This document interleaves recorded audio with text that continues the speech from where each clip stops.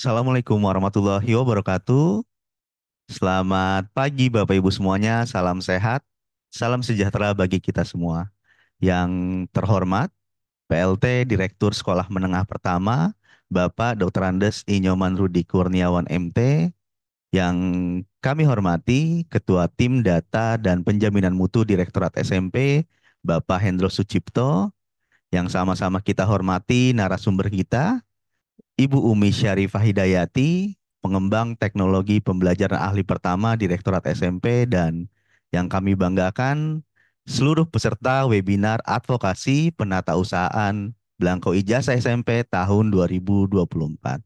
Seluruh peserta yang berbahagia, webinar ini merupakan inisiasi dari Direktorat Sekolah Menengah Pertama dalam rangka menertibkan penata usahaan Blanko Ijazah tahun 2024. Puji syukur marilah kita panjatkan kepada Tuhan Yang Maha Esa atas berkat dan rahmat kurnianya kita dapat berkumpul di hari ini dalam kegiatan advokasi penata usahaan Belangko Ijazah SMP tahun 2024. Baiklah peserta yang berbahagia, mengawali acara pada pagi hari ini, kita menyanyikan lagu Indonesia Raya. Seluruh peserta dimohon bisa duduk dengan tegap.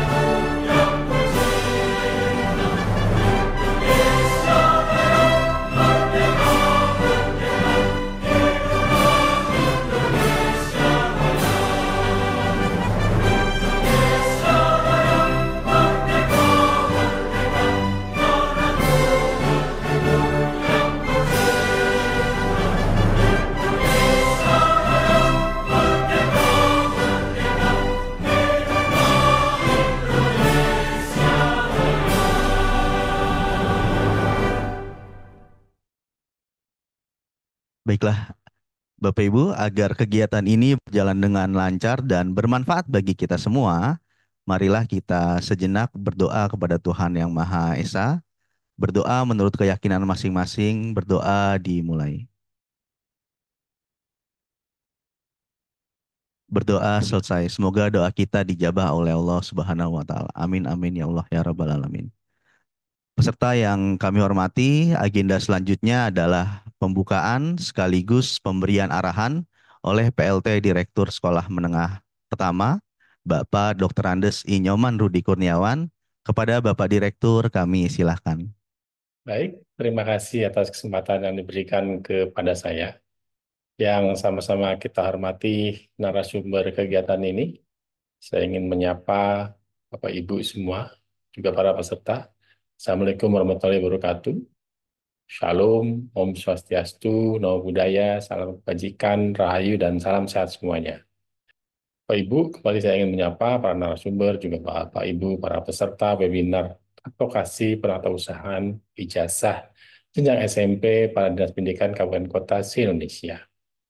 Pertama dan yang utama tentunya kita bersyukur kepada Yang Maha Kuasa Bapak Ibu kita berjumpa hari ini yang tentu saja berkat anugerah dan kesehatan kita juga eh, sehingga kita dapat berkumpul di ruang Zoom ini untuk mengikuti kegiatan advokasi penata usaha di jasa jenjang SMP tahun ajaran 2023-2024. Eh, Bapak Ibu yang saya hormati, Kemendikbudristek melalui Direktorat eh, Sekolah Menengah Pertama, Direktorat Jenderal Pendidikan Anak Usia Dini, Pendidikan Dasar dan Menengah telah melakukan pencetakan dan pengiriman belangko ijazah SMP tahun ajaran 2023-2024.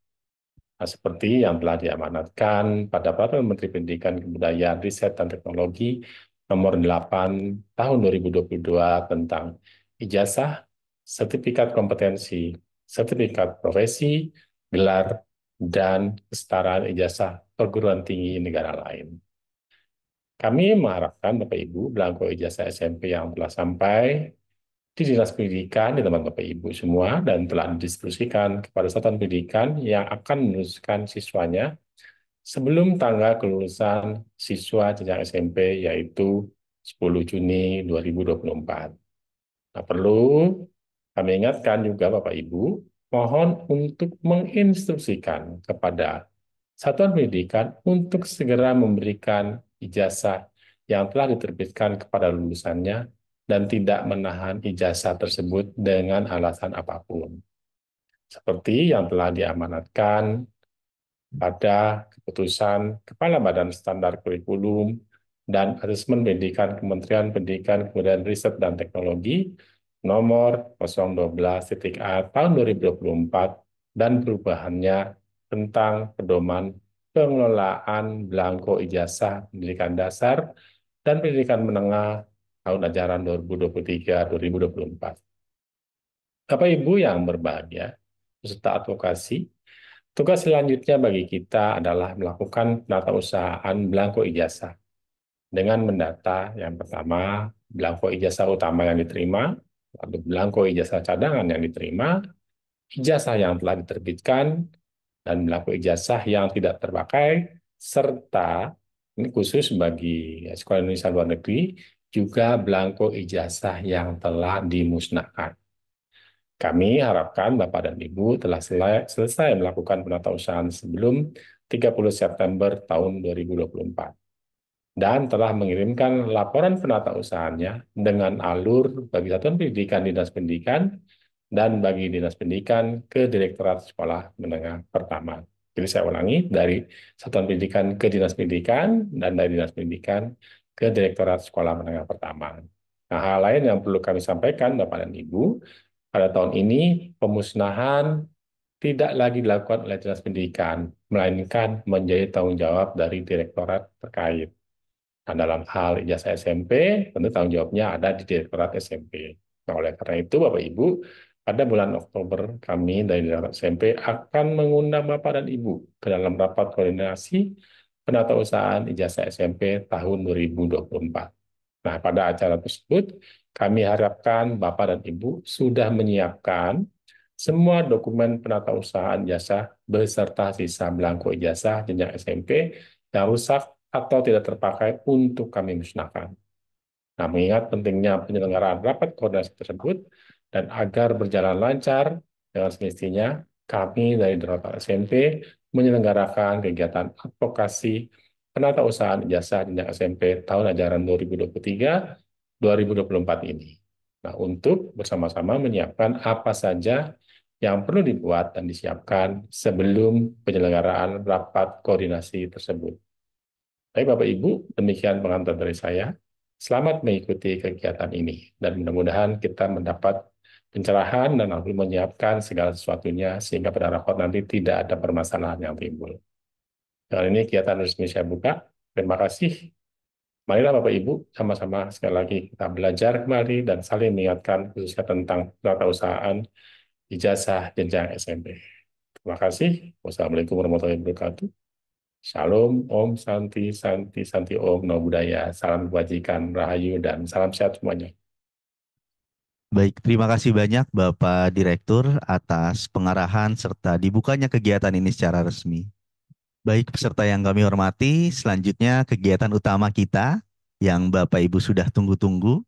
Langsung saja kita masuk kepada materi terkait dengan format pengisian format laporan penata usahaan belangko ijazah SMP tahun 2024 dan nanti akan dilanjutkan dengan paparan terkait rapat koordinasi penata usahaan ijazah belangko ijazah SMP tahun 2024 yang akan disampaikan langsung oleh pengembang teknologi pembelajaran ahli pertama Direktorat SMP, Ibu Umi Hidayati. Kepada beliau kami silakan. Terima kasih, Mas Ferdi. Udah terlihat belum Bapak Ibu? Oh, sudah. Oke. Terima kasih. Assalamualaikum warahmatullahi wabarakatuh. Selamat pagi dan salam sejahtera untuk kita semua. Salam sehat untuk Bapak Ibu di sana.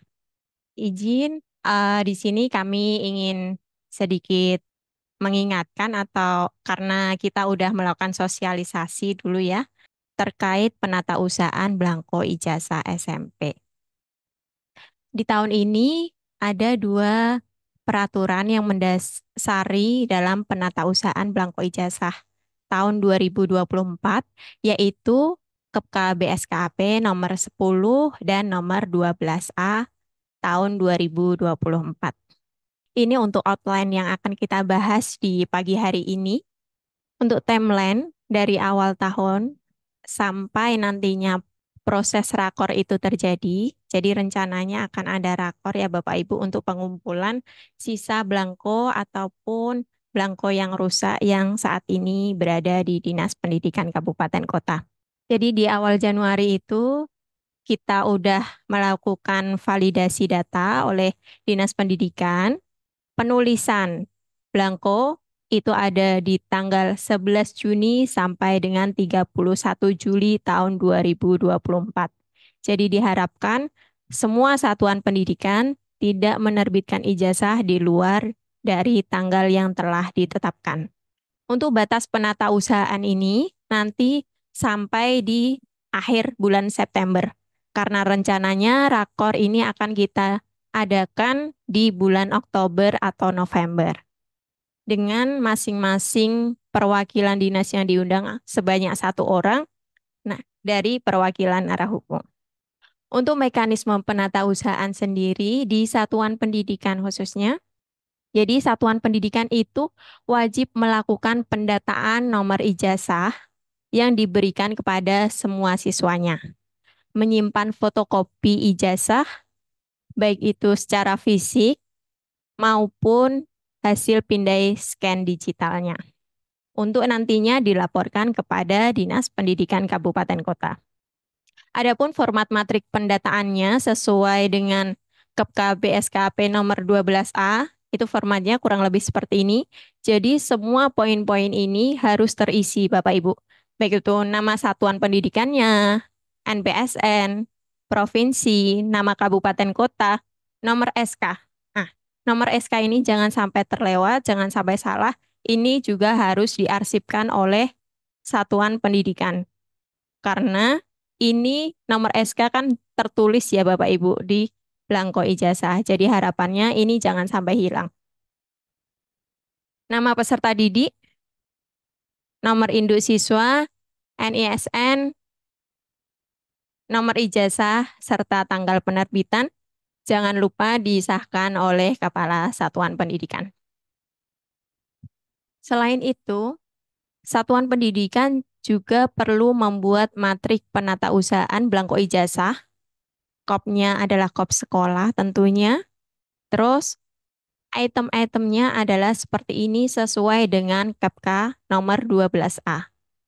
Namun di sini perlu diketahui bahwa poin ketujuh ini jumlah belangko ijazah yang dimusnahkan. Ini hanya diisi oleh SILN saja. Jadi untuk sekolah-sekolah yang ada di dalam negeri tidak perlu mengisi nomor 7, cukup ditulis 0 atau di strip saja. Sedangkan poin 1, nomor belangko ijazah yang diterima. Bisa jadi sekolah itu kan menerima ada nomor-nomor yang loncat atau gimana. Kalau ada nomor yang loncat tidak berurutan, berarti harus dibuat dua baris gitu. Sehingga semuanya tercatat di matrik penata usahaan ini. Jumlah belangkonya berapa? Ini adalah belangko utama. Jadi poin 1 dan 2 ini adalah belangko utama. Nomor 3 dan 4 ini tentang data belangko cadangan. Jadi dimohon uh, Bapak Ibu dari dinas juga menginfokan kepada satuan pendidikannya. Apakah belangko yang diberikan kepada sekolah itu termasuk belangko utama atau belangko cadangan. Jadi jangan sampai sekolah mengira oh ya salah penggantian, mereka terima dan itu mereka ngiranya adalah belangko cadangan. Jadi dilihat dulu numeratornya, tercatatnya itu sebagai belangko utama atau belangko cadangan. Terus selanjutnya adalah jumlah belangko ijazah yang digunakan. Di situ Jumlah belangko ijazah yang diberikan kepada siswa itu berapa? Belangko yang salah pengisian itu berapa? Yang rusak berapa sehingga totalnya ditulis di sini. Apabila ada belangko yang tidak terpakai, berarti poin 6 juga perlu ditulis. Untuk selanjutnya, surat permohonan penggantian belangko ijazah. Ini untuk sekolah-sekolah yang mengalami kesalahan dalam penulisan. Jadi ini perlu diarsipkan oleh sekolah. Formatnya sudah ada. Terus yang selanjutnya adalah berita acara penggantian. Penggantian di sini adalah untuk sekolah dengan kondisi geografis yang sulit yang telah ditetapkan oleh Dinas Pendidikan Kabupaten Kota setempat, di mana belangko cadangannya dikirim berbarengan dengan belangko utama.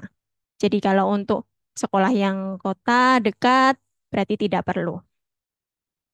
Untuk format-format tersebut bisa di-download di tautan ini, sesuai dengan tautan yang telah kami berikan di surat di awal tahun. Semuanya ada di sini, format laporan di sini sudah berisi semua format yang dibutuhkan oleh sekolah maupun dinas pendidikan. Selanjutnya, penata usahaan oleh Dinas Pendidikan Kabupaten Kota. Ini adalah format penata usahaan belangko ijazah oleh Dinas Pendidikan Kabupaten Kota sesuai KEPK nomor 12A. Jadi di sini kopnya adalah kop dinas, untuk tahun ajarannya adalah 2023-2024. Jumlah satuan pendidikannya berapa? Baik itu negeri, swasta, SPK, bagi yang ada. Jumlah belangko ijazah yang diterima oleh dinas. Ini adalah belangko utama. Jadi poin dua ini berisi jumlah belangko ijazah utama. Nomor tiga, belangko ijazah cadangan yang diterima. Jadi ini cadangan apabila dinas melakukan penambahan. Kemarin kan ada beberapa yang bersurat untuk penambahan. Penambahan itu bisa dimasukkan ke cadangan. Terus selanjutnya nomor empat, jumlah ijazah yang didistribusikan ke sekolah. Totalnya itu ada berapa? Ini utama, belangko ijazah cadangan yang didistribusikan ke sekolah. Ini yang cadangan. Jadi untuk nomor dua dan nomor 4 itu adalah jumlah belangko utama. Jangan sampai salah ya Bapak Ibu. Ya, 2, 4 utama, 3 dan 5 itu adalah cadangan. Matriks rincian penata usahaannya, formatnya seperti ini. Apabila satuan pendidikan, di sini di nomor 2, itu ada dua baris kalau Bapak Ibu perhatikan. Di nomor uh, kolom keempat, itu ada dua baris. Kenapa dua baris? Ini kalau terjadi apa dia meminta dua kali cadangannya. Jadi cadangan nomor cadangan itu lompat bisa ditulis dua baris seperti itu. Ini adalah salah satu contohnya. Jumlahnya di sini karena di sini tidak membedakan antara jenis blanko ijazah K13, KM, SPK. Jadi minta tolong ditulis ya Bapak Ibu keterangannya. Jadi ada Contohnya di sini adalah 591 blanko ijazah K13. Ini adalah untuk dinas yang hanya menerima blanko K13 saja. Jadi apabila Bapak Ibu menerima blanko K13, KM, ataupun SPK, minta tolong dikasih keterangan berapa per masing-masing kategori blanko itu.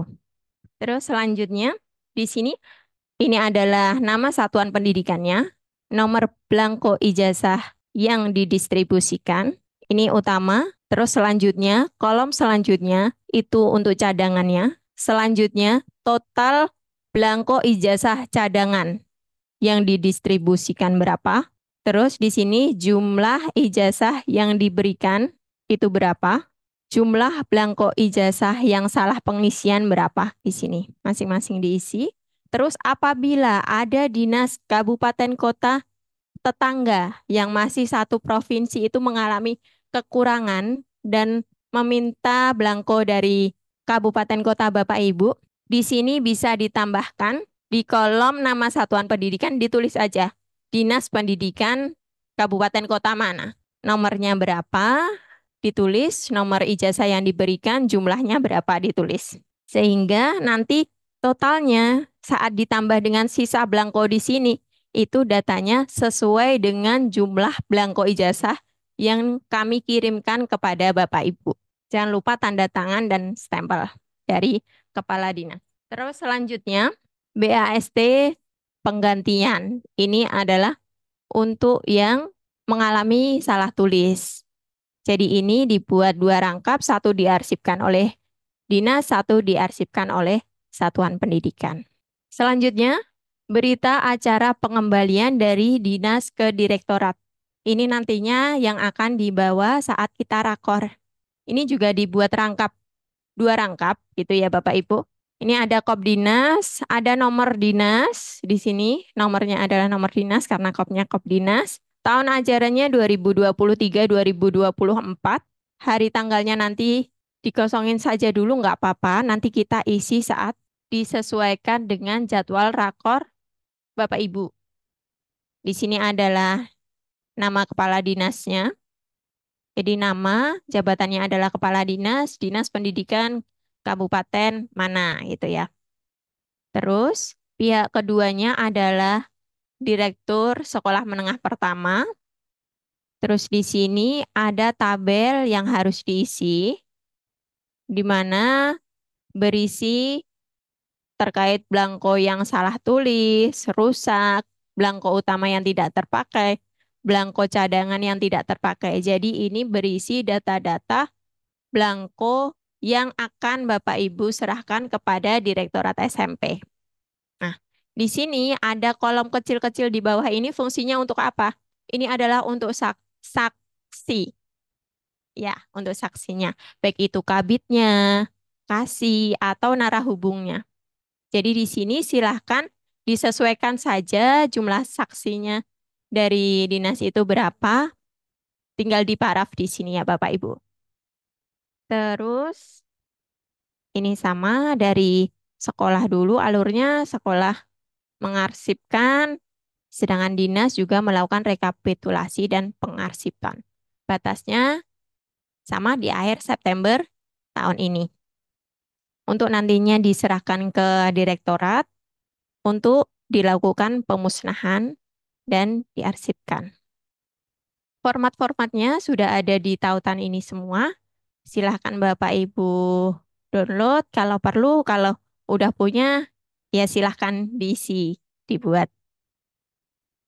Untuk pelaporannya, ya, kami mengingatkan kembali batas akhirnya adalah 30 September tahun 2024.